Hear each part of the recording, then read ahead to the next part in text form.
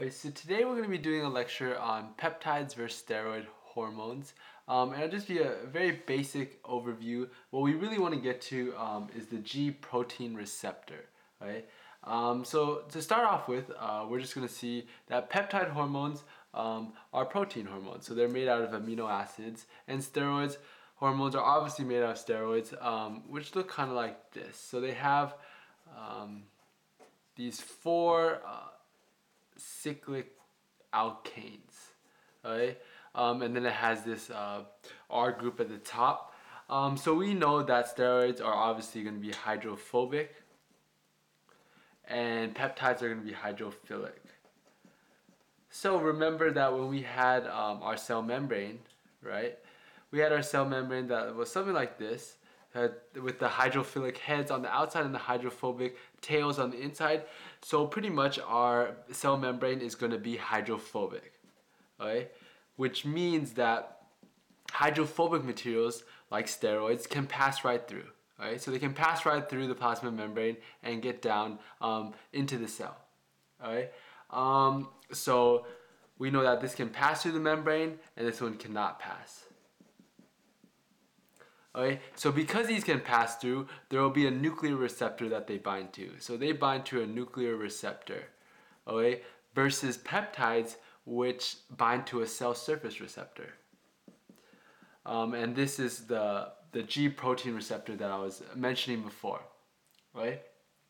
So the, the ultimate goal, because that we are um, activating some type of nuclear receptor, so it's in the nucleus, um, it, it was it's going to affect something in the nucleus which is DNA so it's going to affect DNA transcription right um, so it actually affects cellularly how many enzymes are produced. Because remember transcription will ultimately lead to translation which will make proteins okay?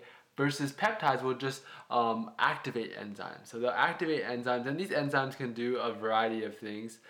Um, and these this activation of enzymes can also be an inactivation. So you can either alter um, an enzyme so that it's activated or deactivated.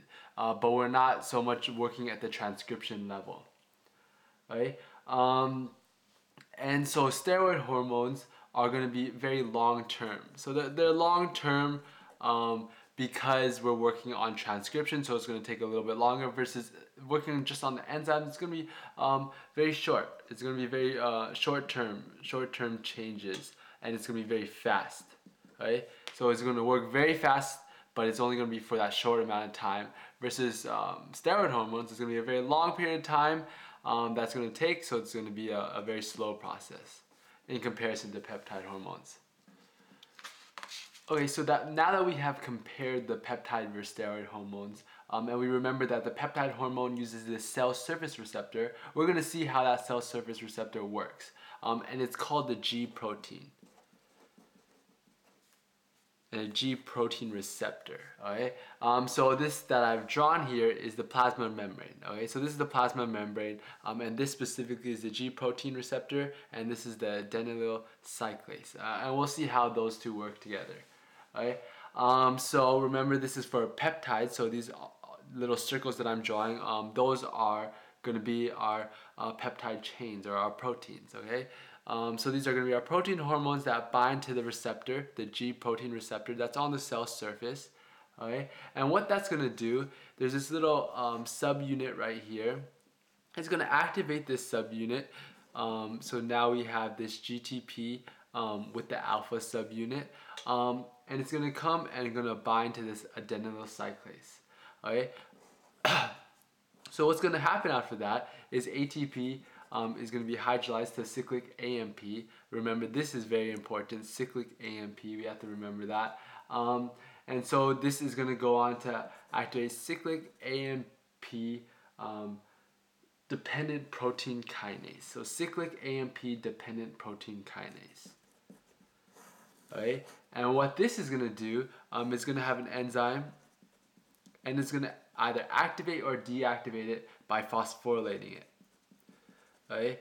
So we can see that this whole process, this G protein receptor, will work like a cascade. So if you ever see the term cascade, um, this G protein is what's, what it's doing. Um, and we can see that it'll work very uh, one little receptor, one little um, protein will go on to act on many, many, many um, uh, different molecules and it'll, it'll, have a cascade effect. So that's why it's so rapid. It's so rapid because one little protein um, can have a great effect, right? And it'll affect it by uh, phosphorylating these enzymes, right? Um, so yeah, just just remember basically how this will work. Um, it's fairly important on the MCAT, not so much memorizing what happens, not so much memorize that, oh, there's alpha, beta, gamma, um, but we should recognize some of these terms like cyclic AMP, the cyclic AMP dependent protein kinase, and the G protein. Um, everything else is kind of just um, added information, but especially what we saw on the first page will be very important for the MCAT.